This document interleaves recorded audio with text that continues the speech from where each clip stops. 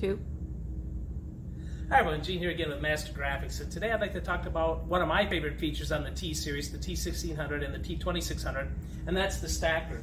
Many of us remember the older DesignJet models where we'd send five or six or ten plots to it, and we'd have to bend down in the basket and get our plots out. They'd come out curled up, and we'd have to separate them. Well, now with the new T-Series, the stacker will hold up to 100 sheets, and if I need uh, three sets of five drawings, no problem. I'd send them through the machines.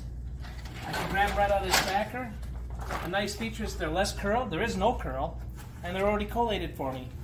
Uh, any questions? Please feel free to give us a call at Master Graphics at 1-800-873-7238. Thanks, and have a great day.